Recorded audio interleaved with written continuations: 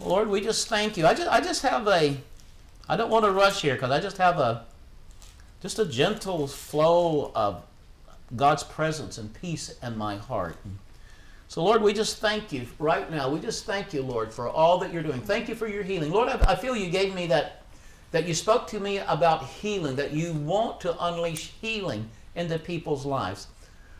Yes, physical healing, but beyond that, heal you in any area in your life where you're hurting. God wants to bring healing.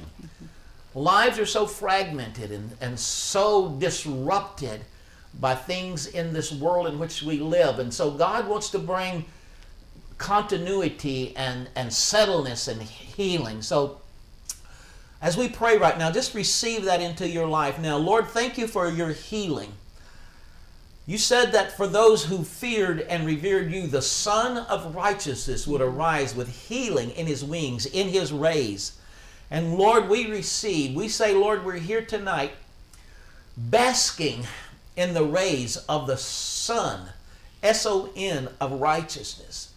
And Lord, thank you for bringing peace and hope and healing into lives tonight. And also understanding, Lord, as we delve into your word. Thank you for it in Jesus' name. Amen. Hallelujah. Ephesians chapter 2, verse, verse 20. Paul says, having been built.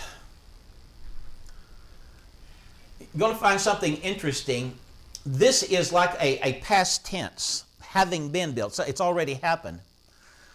But as we keep reading, we're going to read a present tense things where, where we are now being built. So there, there, is, there are the past tense things of our Christian life that are in place and it's settled.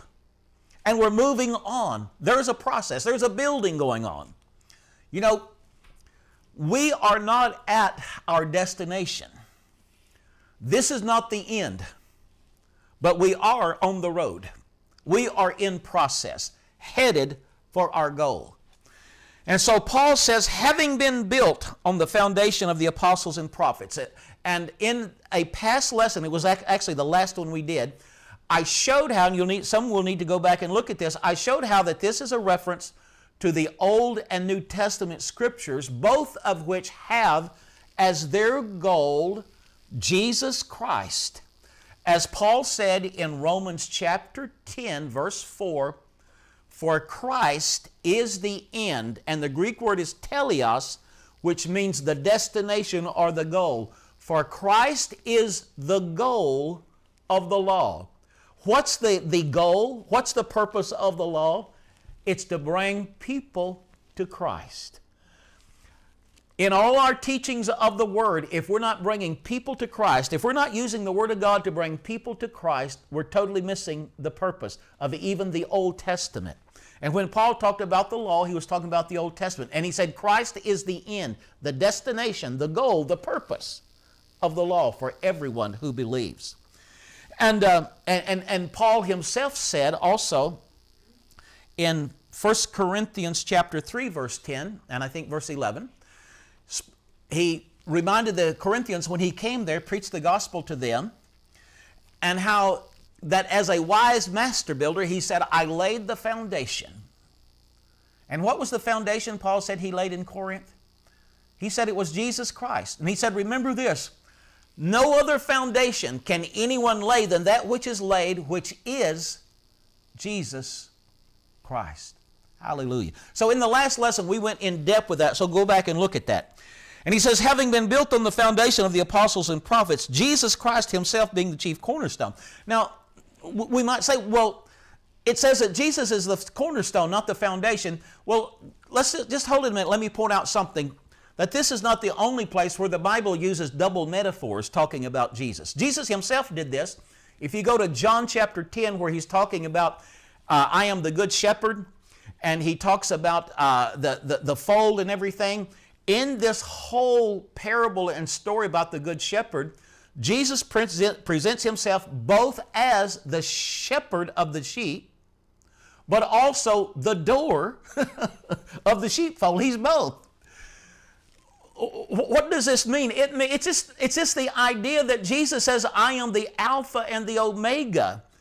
Alpha and Omega are the first and last letters of the Greek alphabet. It's like saying, I'm the A and the Z and everything in between. Anything that you can say about human in human language, I am that and more. Hallelujah. So yes, he's the foundation, but and he's the cornerstone. But what is Paul wanting to say about him being the cornerstone?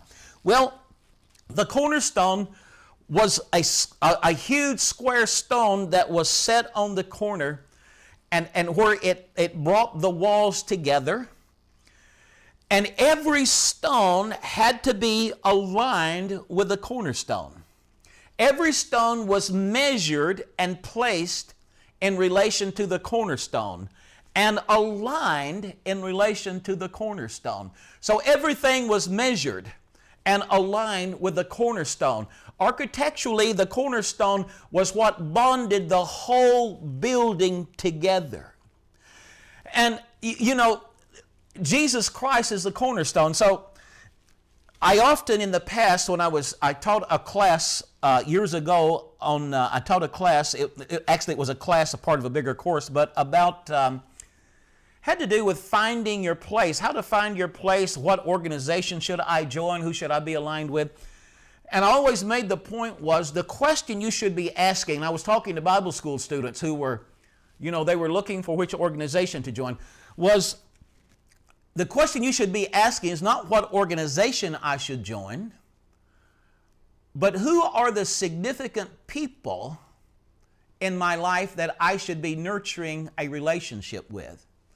Because you see, yes, God may have you to join an organization, but God does not work, first of all, through organizations. He works through people and through relationships.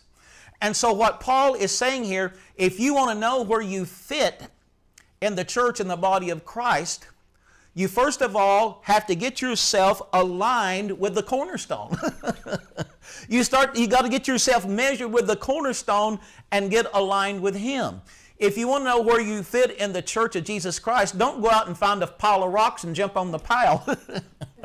get yourself aligned with the cornerstone.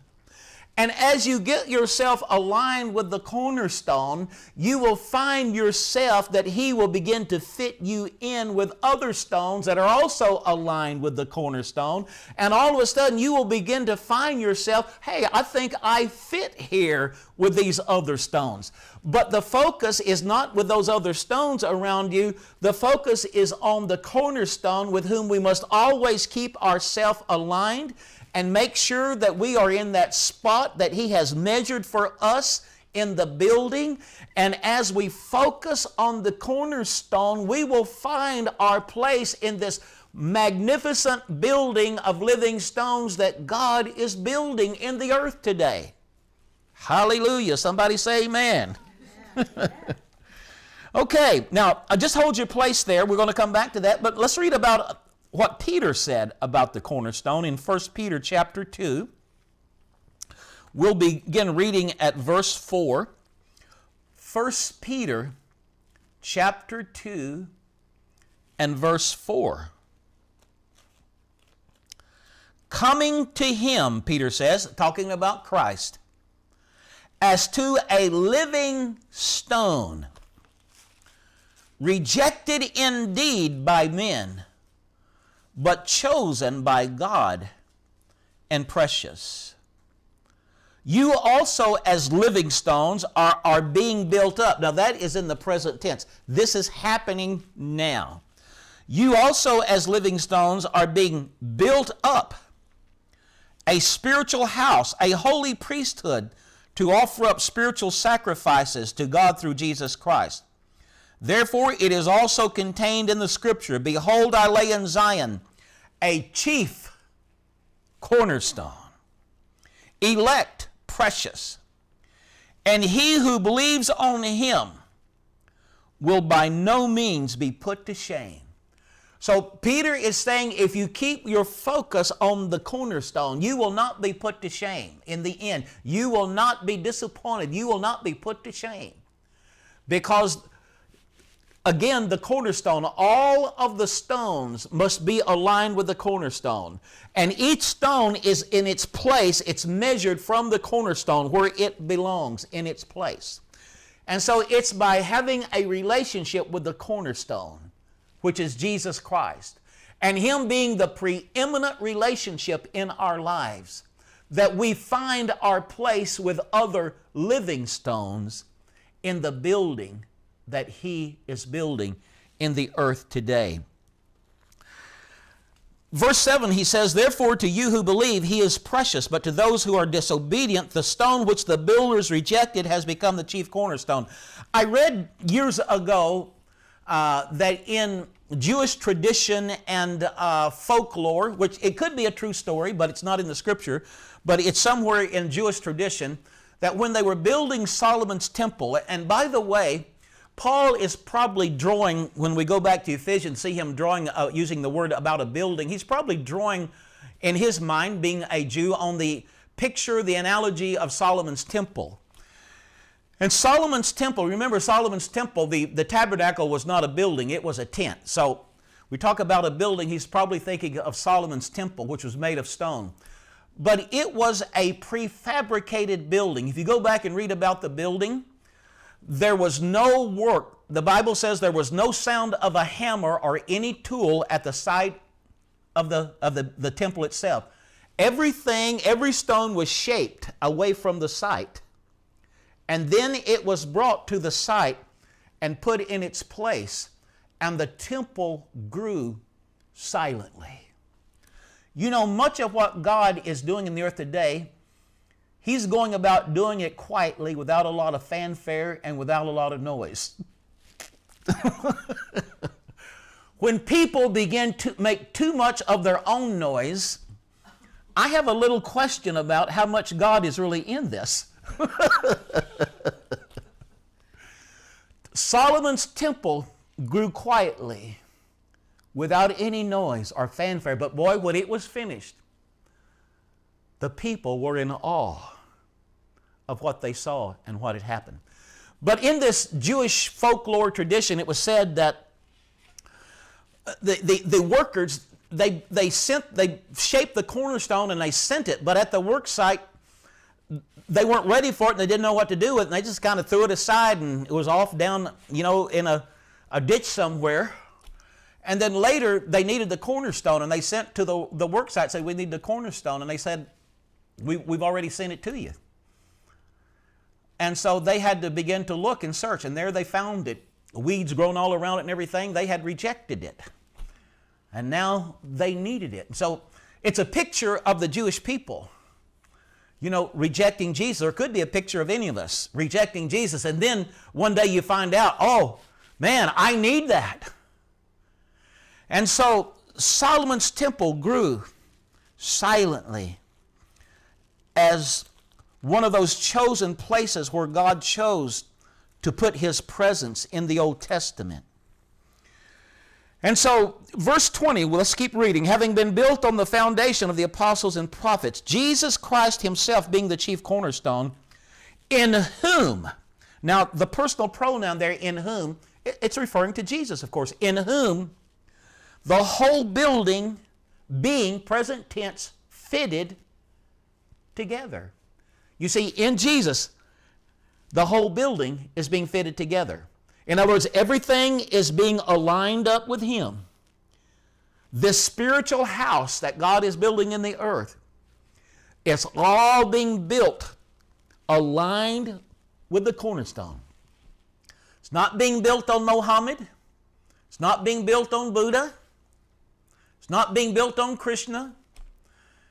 It's not being built on a human organization. It's being built on Jesus Christ, and God is aligning everything with Jesus and measuring everything from Him.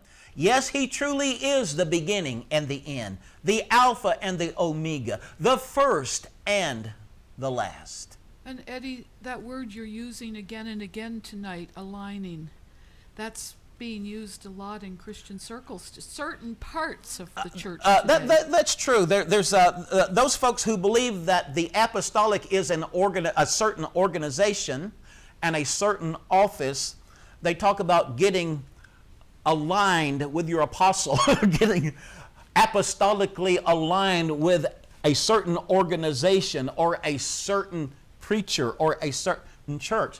My friends, you better first of all get aligned with the cornerstone. And then you won't be worried about any other alignment, right? Right, right, yes. Then God will fit you together with the other living stones out of that.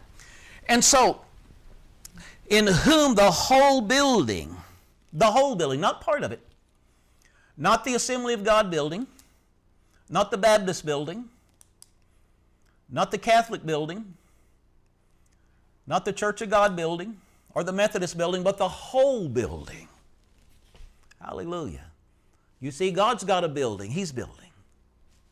In whom the whole building being fitted together. You see, it's in Him that the building is being fitted together. But it's human nature.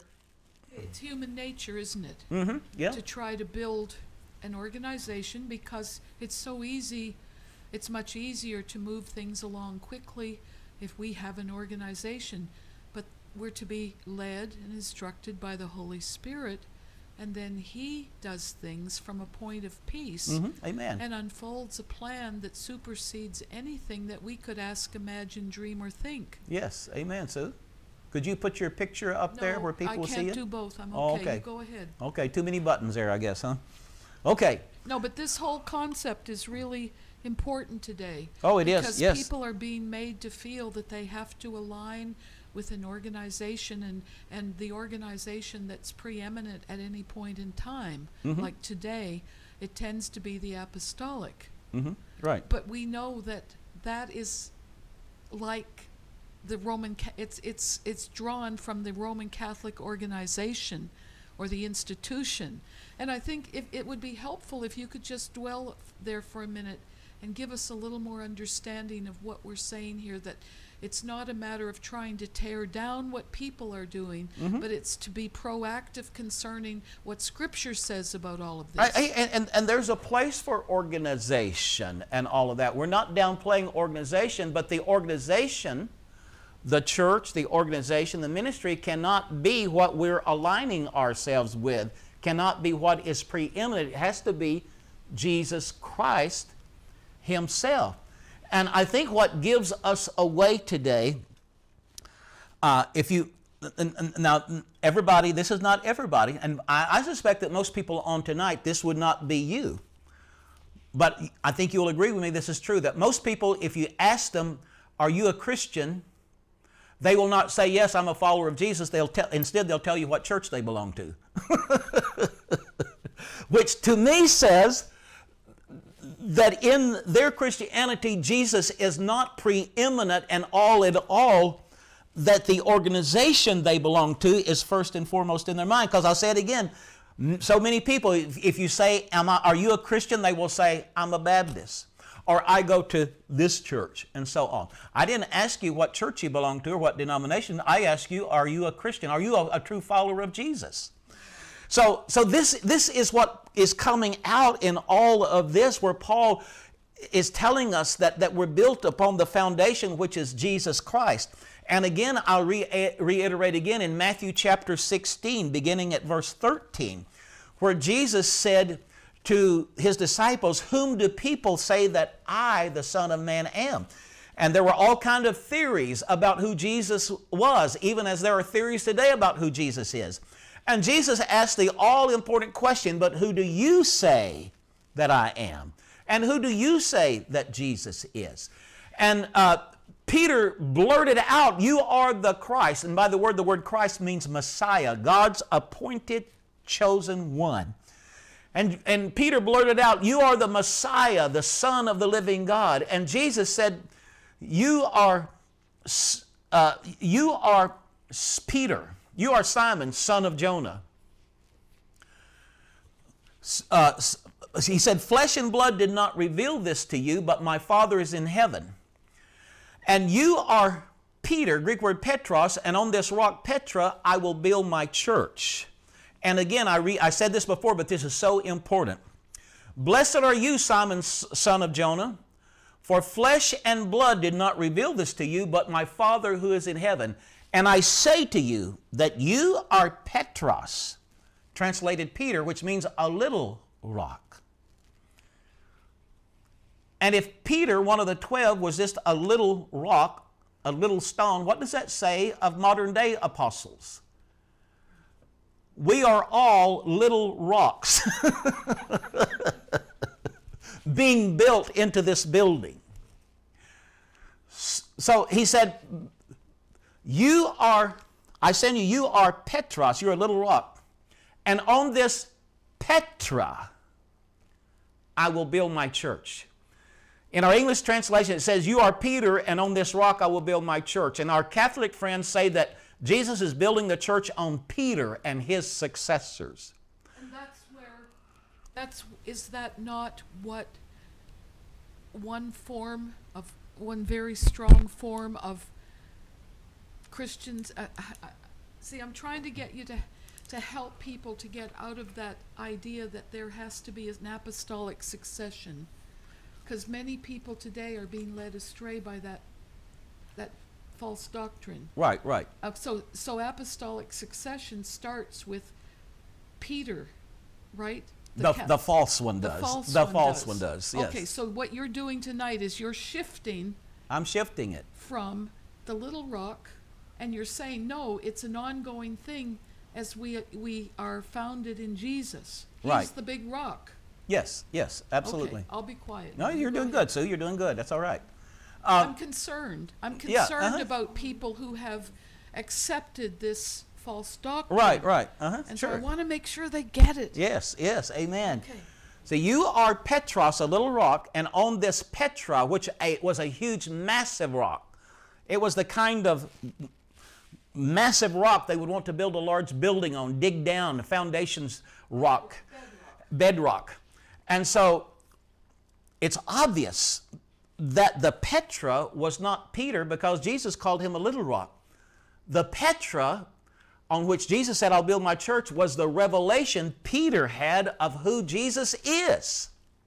You are the Messiah, the Son of the living God. Wow, Petros, you're a little rock, but the revelation you've had of me is a Petra, and it's on this Petra I'm going to build my church. Hallelujah. And so the church is built on the revelation of who Jesus is. And this is why we must preach Jesus, who he really is. Because notice this for a moment. Jesus said, I will build. That is a personal, active word. I will build. And so I believe in church planting. The first thing that should be taught in church planting is the importance of preaching who Jesus really is because Jesus said, wherever it is preached, where I am preached who I am, I will get involved there. I'll get involved where the revelation you've had, Peter, wherever pe- uh, people preach this revelation of who I am, I'll get involved and I will build my church on that Petra, on that foundation. Hallelujah. Glory to God. And so, in whom the whole building, in whom, that's the personal pronoun, in Jesus, in Him, the building is being fitted together. And, and, and I, I suspect, I wouldn't be surprised, but what Paul had Solomon's temple in mind, the stones had been prefabricated, they had been shaped. Yes, Sue. Yeah. You know what I'm thinking that's a little more well it's it's it's kind of earthy, but our friend Rhonda here really enjoys Lego. I wonder Yeah? if we have any other Lego fans out there. but isn't that exactly how Legos work, Rhonda? That's exactly how Legos work. The pieces are fitted together. the They fit together, but maybe maybe one difference would be: are they all exactly alike? The the, the pieces are they all just alike? The the different individual pieces of Lego.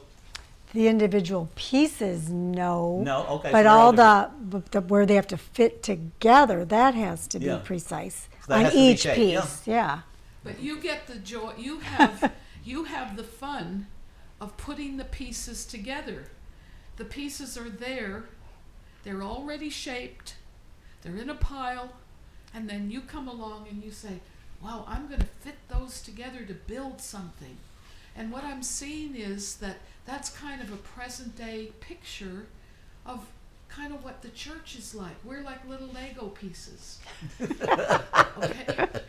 And and God is, God's big hands are taking us little Lego pieces And he's fitting us us together. Yeah.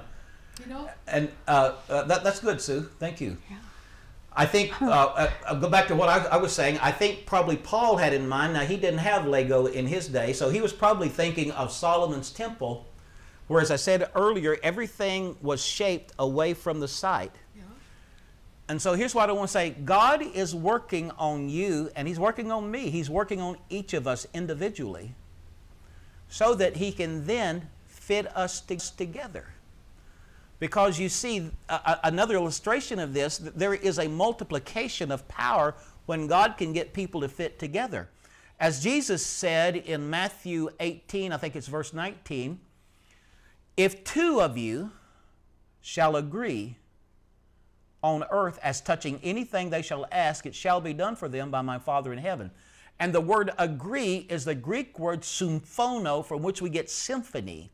And Jesus is saying, if any two of you will make a symphony, if you will harmonize together, make a melody together about anything they will ask, it will be done for them by my Father. So we are all like those stones in Solomon's temple. We're being individually shaped, but it's for the purpose then that God can fit us together with other living stones in this building. And what is the ultimate goal and purpose? Eddie, before you go there, Yeah. you know, you're talking about this symphony, right? Yeah, uh-huh, yeah. Are we all playing violins? Oh no, no, Are we're we all we're, we're all unique. We're We're- like a symphony orchestra. Uh, where you have all kinds of different looking instruments that make different sounds, but what is what what makes it beautiful is when they all get in the same key, playing the same melody, then something beautiful comes forth. What is a problem is when they're, if you ever heard an orchestra tuning up, when everybody is doing their own individual thing, playing their own tune in their own melody, then we want to we want to cover our ears and run out. And I wonder if sometimes the angels in heaven, they when they listen down to the spiritual tones of God's people, if they want to put their hands over their ears at the sounds that we produce. But yes, uh, we are all different, we're all unique. But when we begin to make that symphony and that harmony of sound, Jesus said there's nothing that's And, impossible and it's so important that the church not try to fit each new believer into a mold and make them look and sound Mm-hmm. Sure, just like everybody else in that particular group. sure, Within absolutely. a group, the, the differences have to be retained. We have to make room for our uniqueness. Amen. Some of us are peculiar, some Mm-hmm. of us are unique. Yeah. and in verse 22, verse 21, in whom, personal pronoun in Jesus, the whole building being fitted together grows. So this building is growing into, oh, I love this, into a holy temple in the Lord. What's, what's the goal? What, what, what is all this building? What's it leading to? We're growing into a holy temple in the Lord. Now, I love these two words, holy temple. Holy is from the Greek word hagios. It means to be marked and set apart for a special purpose. In the Bible, it or its its form is translated as holy or sanctify or sanctification or in the Lord's Prayer, it's translated as hallowed. Hallowed be thy name. Holy, set apart, be your name. Um, the vessels in the tabernacle, in the temple in the Old Testament, there were certain vessels, they were marked off and they were set apart only for the worship and use in the, in the worship of the temple. They were hagios. They were special. They, weren't, they were not to be used for everyday meals, for menial purpose. They were marked off and set apart only for use and the worship of Yahweh in his holy temple, his holy place. And Paul says that we, this building, we are growing into a hagios, a holy, marked, set apart, special temple. Now, Paul had two Greek words he could have chosen for temple. One was hieron, which is a word that referred to the entire temple complex. And the temple complex was, especially in Paul's day in, in Jerusalem, was very large and sprawling with all kinds of different courtyards and, and, and gates and porticos and so on. So that was the hieron that was, was used to refer to the entire temple complex. But Paul uses a different word here, naos. The naos, Greek speaking Jews, was the word they used for the Holy of Holies. Greek speaking Jews use this word to refer to that innermost sanctuary where only the high priest could go in once a year and only with a, a blood sacrificial offering for the sins of Israel. It was the place where God's Shekinah glory was revealed, the Holy of Holies, a huge thick curtain there which separated it from the rest of the tabernacle or the temple. And this is the word that Paul used that God is working. He's building us into a hagios naos, a holy sanctuary, God's dwelling place in the earth. Hallelujah. Verse 22, in whom, there's the personal pronoun. We can't get away from Jesus. We find him everywhere.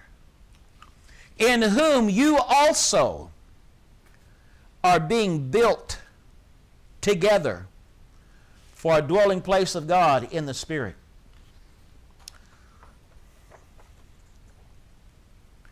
Our friend Richard up in Massachusetts. Richard, thank you for sending this, some of your studies you had done here.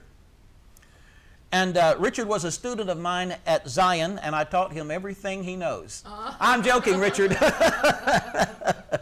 I'm kidding, Richard. Richard went on from Zion and he pastored and also uh, attended a Lutheran seminary where he, he did a lot of uh, graduate work and so on. So, so Richard, I'm very proud of you of, of, of how you've gone on and you haven't stayed static and you've applied yourself. And uh, Richard, he, he was referring to this, this idea. I was just thought of this, Richard. I was talking about this symphony and so on.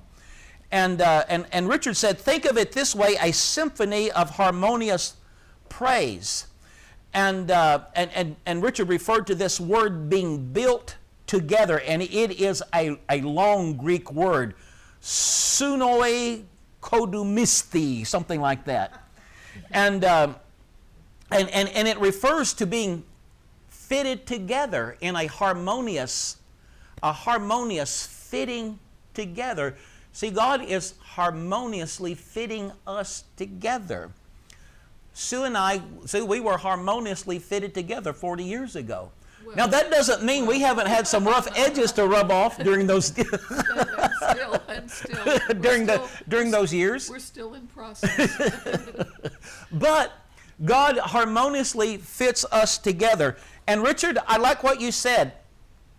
And in, and, and in regards to this this uh, uh, that in verse 22, a dwelling place of God in the Spirit. This Greek word there. Uh, you said this, Richard. You, I'm going to read what you said. You said, put it all together and you get something like this.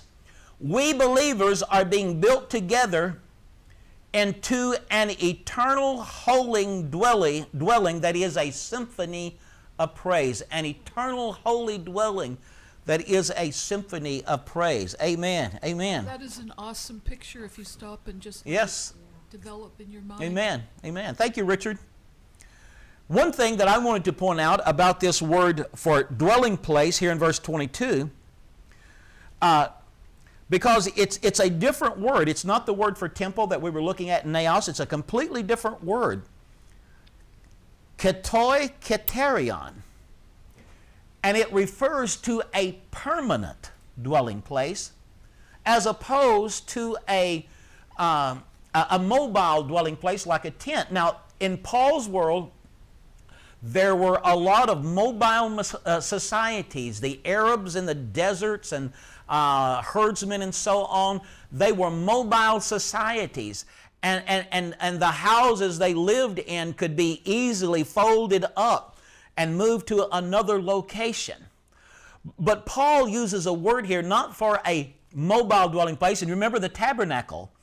It was mobile. God's dwelling place, it was mobile. It could be folded up and gathered up and carried on the shoulders of the, uh, the Levites to the next location.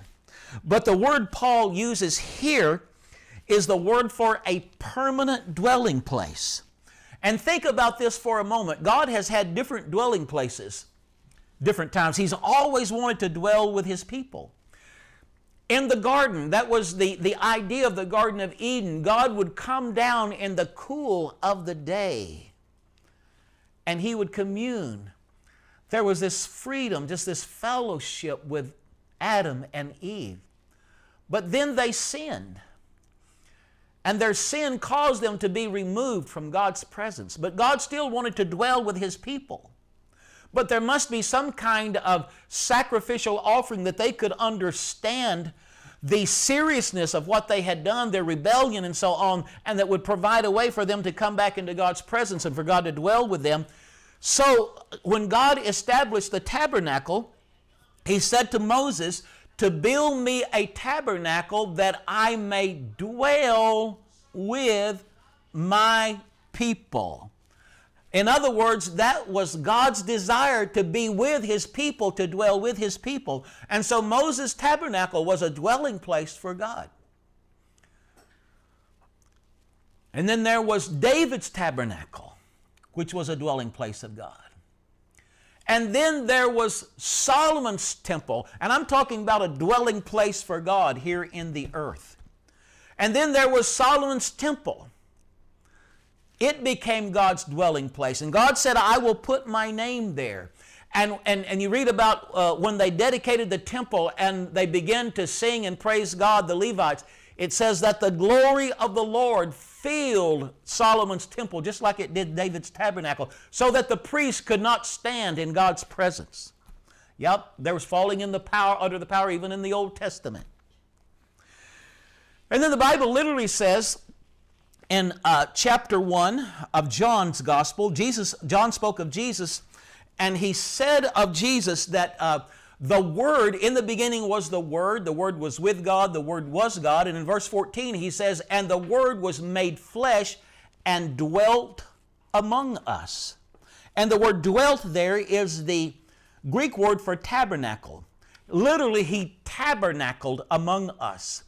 Jesus' very flesh became the, a tabernacle for God, God's dwelling place here on the earth. God has always desired to dwell with and in the midst of His people. So now Jesus is in heaven. But God is still at work. What is God doing? What's His goal in, in calling people to Him, preaching the gospel, and, and, and putting us together and, and putting us in relationships and joining us together? What is going on? God is building another dwelling place for Himself on this earth in the midst of His people. Now, here's what verse 22 tells us that this is His final eternal dwelling place. You and I fitted together. God is never going to look for another dwelling place. This is it. And you and I, hallelujah, are being built together and fitted together for God's eternal dwelling place. Yes, where praises will continually go up to God. I'll read your statement again, Richard. Put it all together and you get something like this. We believers are being built together into an eternal holy dwelling. And I'll add a holy dwelling for God that is a symphony of praise. Hallelujah. Hallelujah. Thank you, Lord. Glory to God. That's where we're headed. That is where we're going. My friends, when we realize who we are and what we have, it makes all the difference in the world. Let me just hold your place there. But I want to go back and mention verse 21. I'll read verse 21 again, then I want to, in closing, look at 1 Corinthians chapter 3. In whom, don't, don't ever forget, the building is, is being built together in Christ. It's from Him, it's of Him, it's to Him. In whom the whole building being fitted together. Oh, let Jesus fit you together. If Jesus had not fit Sue and I together, I guarantee you we wouldn't be together today. but we knew that He fit us together. Let Jesus fit you together. You, it takes different people to fit together. Oh, right, right. That, see, that, that's the idea. Uh, look at a, a rock house, and uh, you know, and I was uh, just reading a commentator was talking about many of these pillars. You see these giant pillars in some of these old, these ancient uh, structures. You know, like the Acropolis in Greece and so on. That if you get up and look close at them, it's not just one piece of material, one stone. There are many there. And, and, and, and the stones have been turned and, and twisted and turned and maybe knocked some edges off until they got them to where they would fit together. Many stones fitted together and making one. And so, yes, this, this is a building. The stones are not all alike. Yes, He works upon us, He shapes us, but it's not just a bunch of square stones all just alike. It, it's it's uh, our friends Charles and Delilah, they have a rock home made of rock and there's all different sizes and shapes of rock in their house. And so God's got all kinds of people in this building, but and only He knows how to fit us together. I always That's why we must never run and jump on a pile of stones. Say, I want to be a part of this pile of stones. but you, you you asked God early on in our marriage 41 years ago. You asked him, you know, to make me more like you. And well, I, I was just asking him, I, I, didn't necessarily ask him to make me like me, okay, but, well, but I asked him to change you. change me to and, be and more I, like you. Yeah, probably, probably that was the unspoken thing. I'll, I'll, that was the standard I had to go by in those days. And, and the Lord that was 40 years ago, though. And the Lord said. But I, I, yeah, I felt the Lord said, I need people like her. So God. So if I'm talking to like some you. unique people out there, God needs people like you. Hallelujah. Hallelujah. Just let people let say that again, Eddie, and let people think about it. So if I'm speaking to any unique people out there, and yes, you're all unique because when God made you, He threw away the mold and said, I'll not make another one of those. so be the unique person God, God made you to be and has called you to be. Hallelujah. And so this hagios naos is what God says we are.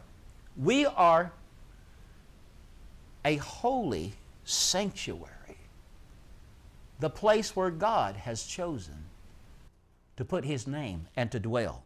And so hold your place there, and I'm going to, in closing, I'm going to turn over to 1 Corinthians chapter 3. Beginning at verse 16. And Paul is a little, I think we see a little bit of his frustration here in this expression. And of course, he's writing to these Corinthians. I mean, there is some terrible stuff going on. There's sexual immorality, there is abuse of spiritual gifts, there are cliques and dissension.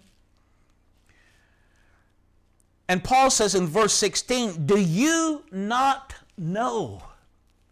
Paul said, Don't you people know who you are?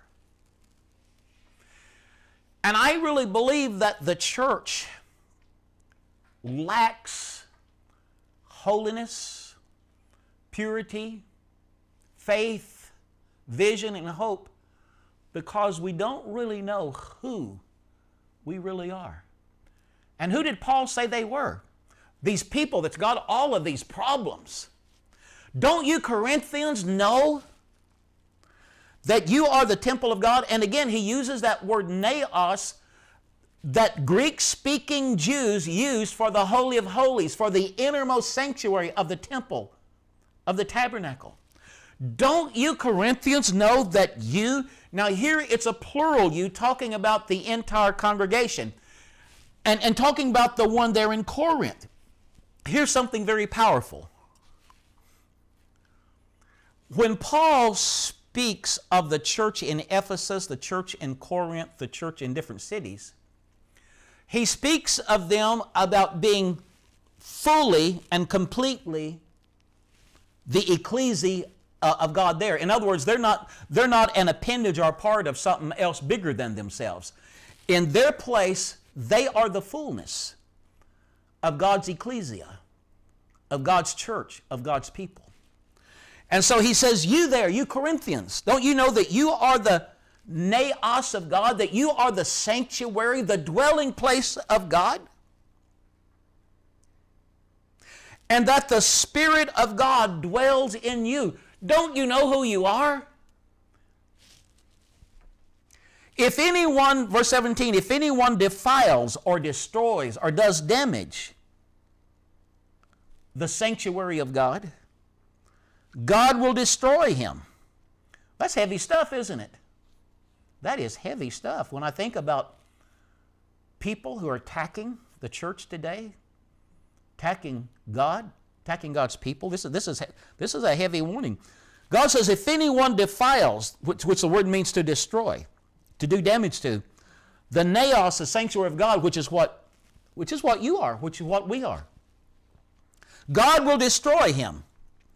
For the temple, for the naos of God is holy, which temple you are. Now, if you notice the word temple in my Bible is in italics, that last temple in verse 17 which means it's not in the Greek.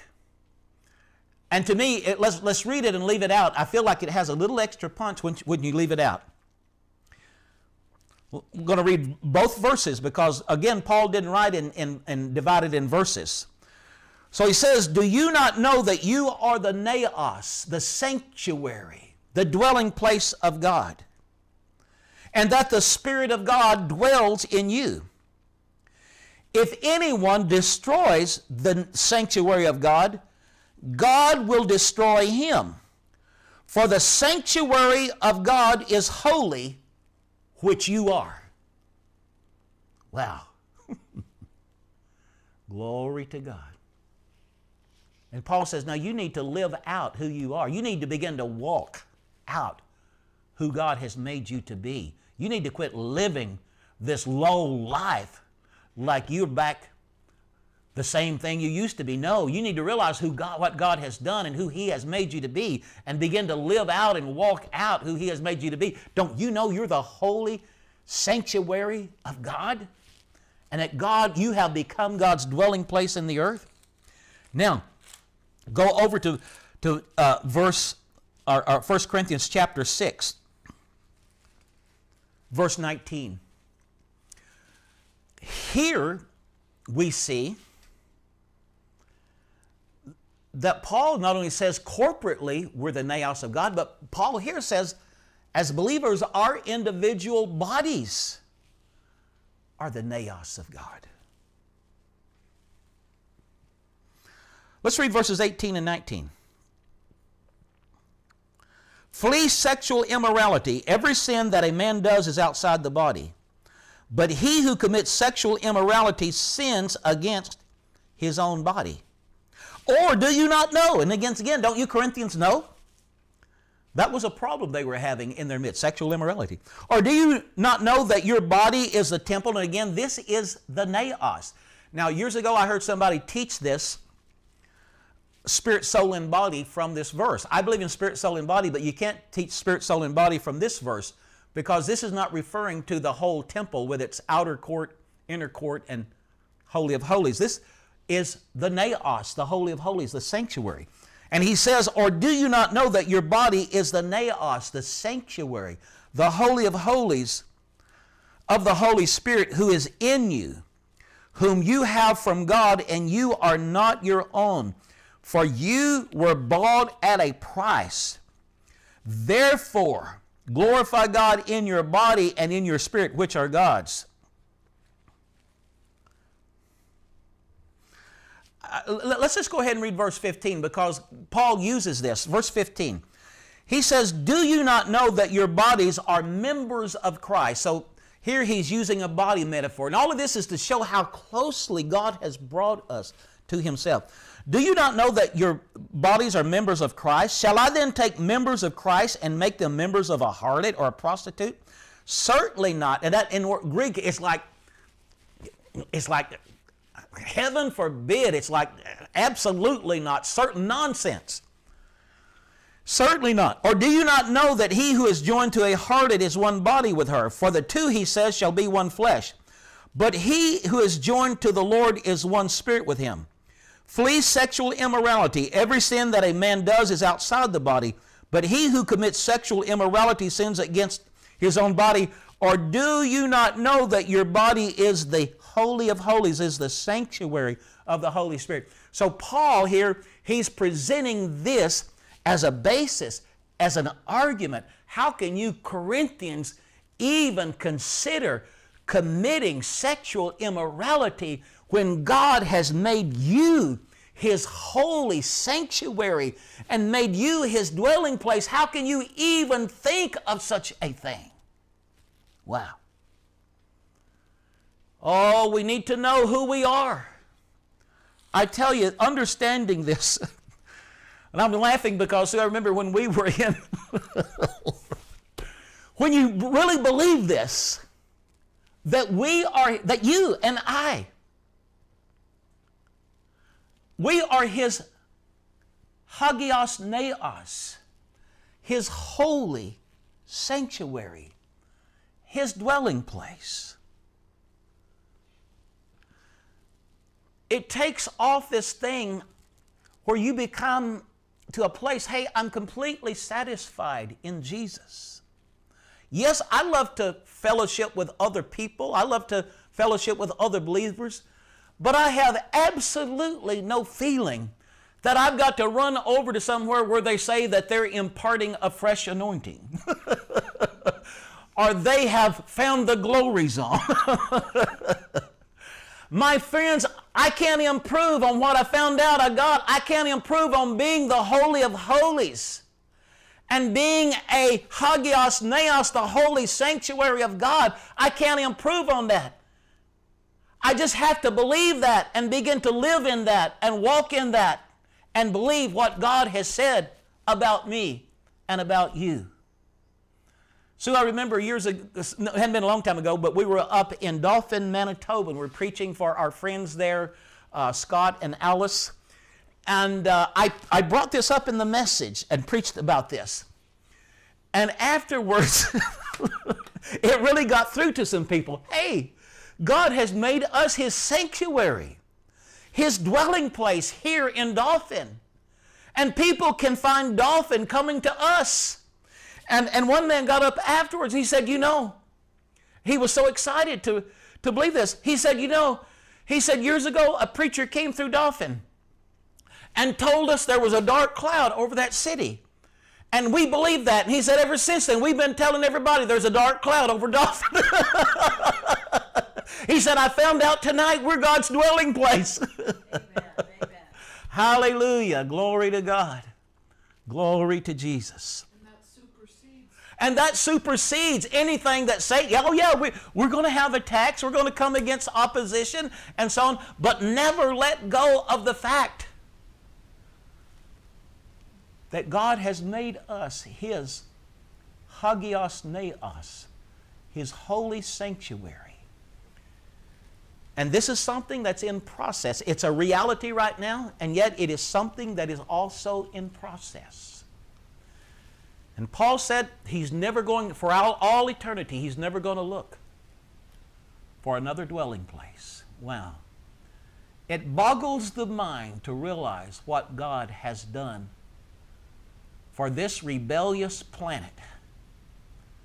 That God, in His great mercy and grace, has come down and suffered and died to reconcile us to Himself and to make us, He wants to be with us, and to make us His eternal dwelling place. What an incredible thing God has done and is doing right now. You know what? Believe that right now. Yeah, you know, Eddie, um, it's human for people to need to, to want to feel significant Mm-hmm. because God put each person on earth to be significant. Right. He made us all unique. And, and to have a sense of, I matter in this Mhm. world. And this is where we find our significance. It's not in titles, In it's God. not in positions, it's not in jobs, it's not in money. We find that significance in Him. And, and, and I want to say this again. I and I say this. This is how where I'm at. I am completely satisfied in Jesus. I don't feel any need to run somewhere and to try to get some special anointing or some impartation or something else that we hear advertised so much. I've come to the place I'm totally satisfied in Jesus. As Paul said, you are complete in Him. And it's interesting, it's so interesting. See, Paul is writing to the church in Ephesus, these former pagans.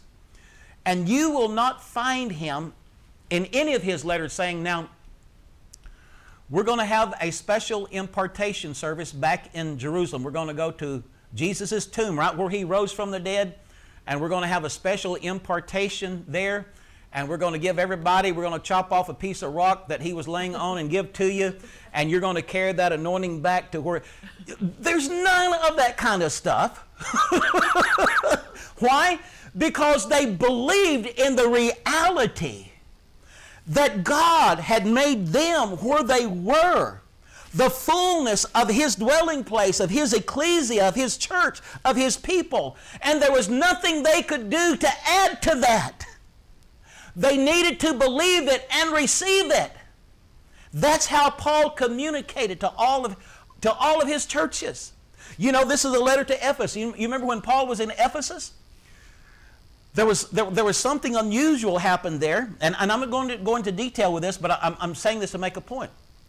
It says that God did special miracles through the hands of Paul so that, that ap- aprons and handkerchiefs were taken from his body. Now, it doesn't say that Paul handed them out. No, it says they were taken. People came and took it.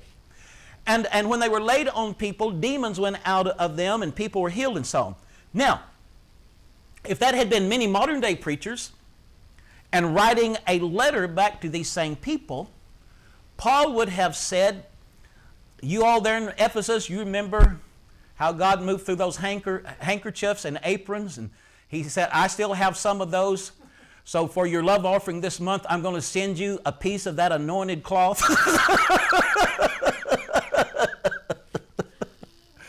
Why didn't he do that? Because he was preaching the true gospel. That what you have in Christ, I can't add anything to that. I can only tell you what Christ has done for you and who you are. And oh, you Corinthians, don't you know who you are and what you have? And I say to you, oh, you, and put your name in it, don't you realize who you are and what you have? They're in Cape Breton, and they're in Ireland, and they're in England, they're in Pakistan. Doesn't matter where you are, what kind of government you're in, God has put His hand on you, and God has called you to be His dwelling place in the earth. Hallelujah. Oh God, thank you. Thank you for doing miracles tonight in your people.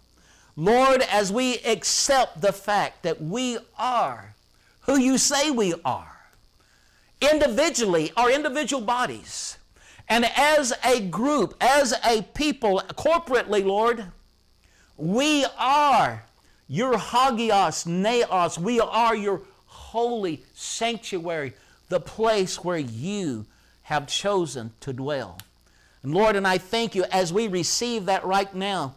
Lord, I just believe that your Holy Spirit who dwells in us is touching people, touching sick bodies, lifting heaviness and oppression off of people's minds. Lord, even restoring the joy of the Lord into people's hearts. Hallelujah. I just believe some people are breaking out in laughter right now because this is setting you free. Hallelujah. Because it is the truth, it is the Word of God.